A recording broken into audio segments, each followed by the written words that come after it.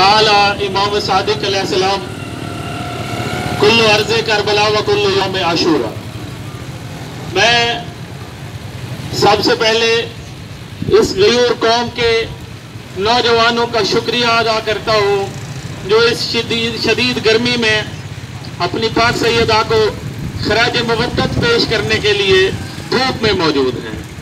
और मैं ये बता देना चाहता हूँ कि आसिफ जलाली मलून ने अपने शजरे पे कदगन लगाई है। जनाब सैयद को नौजबिल्ला खदाकार कह के अपनी माँ का किरदार वाजे कर दिया है।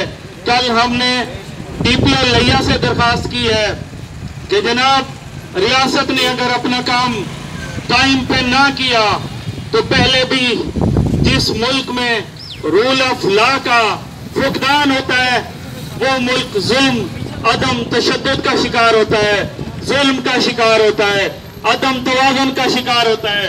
और मैं किबला नैयर बादशाह साहब, जिन्होंने ऐलान किया है कि कायदीन की काल का इंतज़ार है कौम को, और इन ताला इस कौम के हर जवान का तन, मन, धन अपने पाक आले मोहम्मद पे कुर्बान है।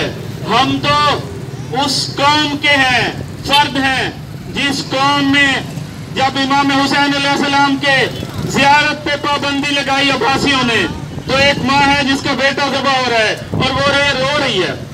बेटे ने कहा, माँ, मुझे रो रही है मुबत पे शक करेंगे। माँ ने कहा, नहीं बेटा, मैं अपने इमाम से शिकवा कर रही हूँ। मौला, मेरा एक ही बेटा है, एक दफ़ा जियारत करूँगी। आपने मुझे दो बेटे तो दिए होते कि अगले साल भी मैं आपकी जियारत को आ सकती। हमें तो माओ ने हमेशा ये दर्श दिया है, ये दर्श करबला का है कि खौफ बस खुदा का है। हम करबला के फर्जंद हैं। हम तो हमारे सामने नौ लाख के मुकाबले में बहत्तर की मिसाल मौजूद है और इन ताला पूरी कौम में इस तरह है। ये सिया शिया सुन्नी का मसला नहीं है। ये हक के कलमा अदा करने के लिए लोग आए हैं। इनमें अहल सुन्नत भी मौजूद है। आज मुझे एक कॉल आई है। दसका से।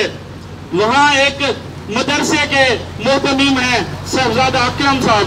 उन्होंने दरखास्त दी है कि मैं हलाली अहल सुन्नत होने का किरदार अदा करता हूँ और ये हमारी अहल सुन्नत